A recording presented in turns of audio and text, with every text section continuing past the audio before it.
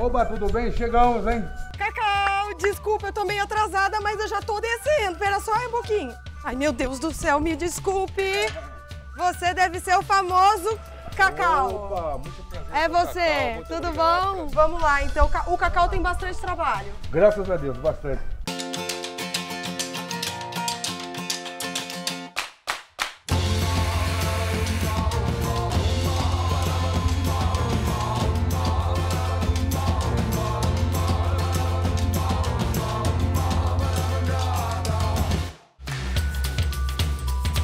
Aqui a obra, é uma árvore de 60 anos de idade, mais ou menos. Tem defeito aqui, tem defeito aqui, que o buraco vem até aqui. Uhum. Então esse aqui está ameaçado de cair quando tiver mais peso de galhos em cima. Nós temos que podar severamente. Só que a gente gostaria de deixar no mínimo uma, um galho grande, deixar vivo, Tá, para refazer a árvore, recompor a árvore com galho. entendi. Este galho tem que podar um pouco aqui, para tirar esse peso. Uhum. Depois fazer uma poda drástica em cima, Tá legal. de onde ela vai sair com 3, 4 galhos. Isso aí é comigo mesmo. Agora, é, você vê que a poda errada, a planta tentou cicatrizar, né, Cacau? É, Você vê exatamente. que ela fez um esforço, mas isso, isso aí, alguém na hora de podar feriu o tronco, não feriu? Ela esforçou bastante, mas não conseguiu fechar o, o ferimento dela ali. Quando podam, então, se poda muito rente do tronco, acontece isso, não acontece? Exatamente. Tem e quando vai fazer uma poda, tem que fazer meio chanfrado. A, a pessoa fez meio paralelas. Isso também é complicado porque acumula água, né? Exatamente. E é justamente esse apodrecimento que a gente tá vendo, não é isso? E acumulando água, a planta- logo, logo já vai cair sozinha. Vai, vai morrer. Ô, Cacau, e agora sim, a gente já sabe que não é qualquer pessoa que pode podar. Eu queria que você falasse pra mim o que, que você tem de tão especial, além de ser o maior especialista de poda da região. Ah, minhas ferramentas são a motopoda que eu tenho. Tenho três tipos de motosserra. Tenho cinto de segurança. É o, o IPI completo que eu tenho. A gente já tem autorização da prefeitura e a gente vai preparar também depois um remedinho pra passar nos buracos pra selar o que sobrou aí de, de buraco. Mas então tá, então fiquem à vontade.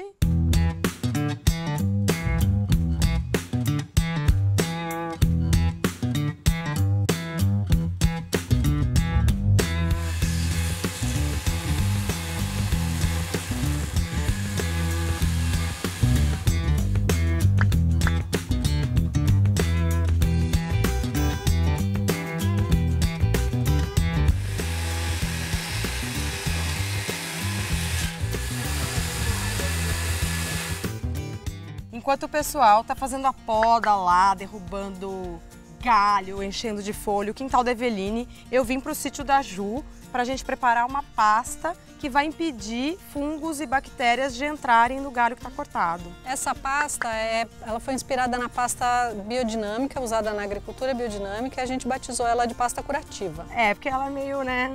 É uma adaptação sem os ingredientes biodinâmicos. Vamos lá então. E primeira coisa vai o humus de minhoca. 1,3 kg de humo de humus de minhoca. A receita dessa pasta você encontra no site Jardim das Ideias. Exatamente, porque vai bastante coisa, então não fica preocupado aí de anotar tudo.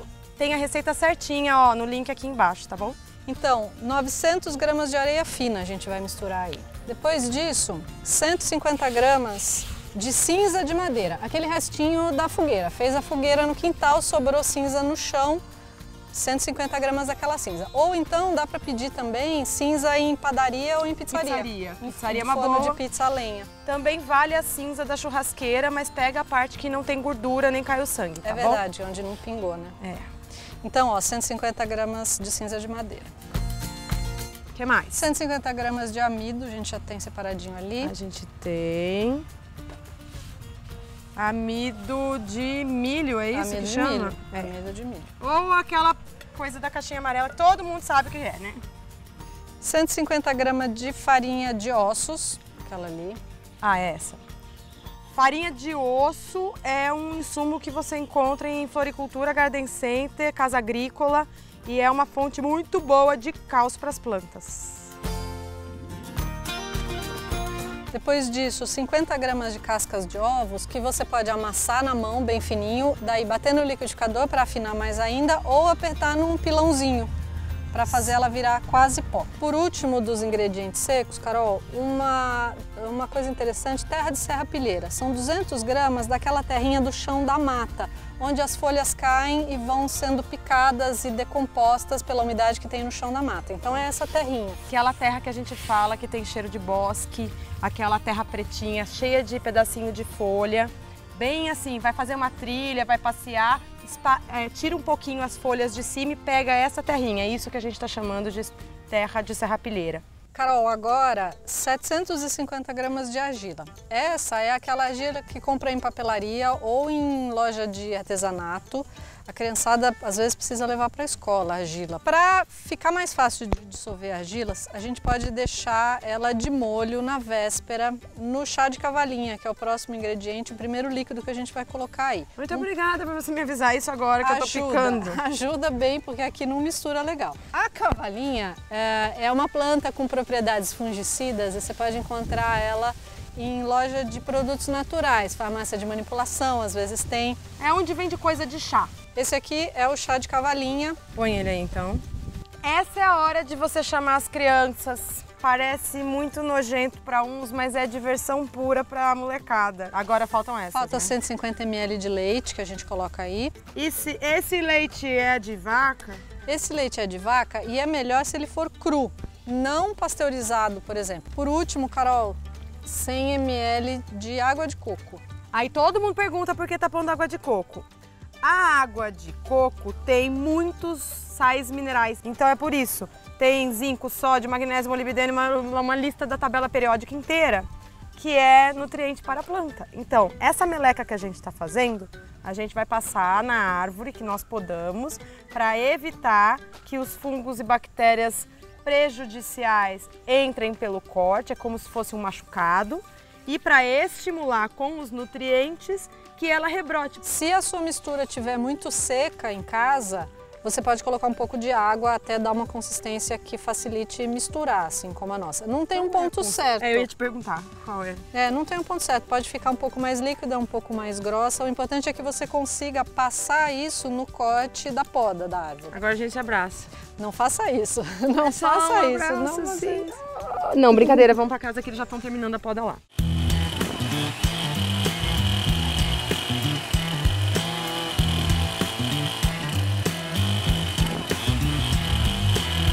Cacau! Tinha uma árvore aqui! O bicho comeu ela por dentro. O cupim comeu mesmo, né, Cacau? Olha os buracos. Tava mais fundo do que a gente imaginava, não tava? Exata, muito, muito, muito. Caramba. Bom, eu vou então dar um help pra você. A gente trouxe a pasta pra passar para selar esse machucado. Legal. Né? É, eu nem sei se a gente tem o suficiente, mas a gente vai colocar. E eu vou depois te ajudar com os galinhos aqui. Maravilha.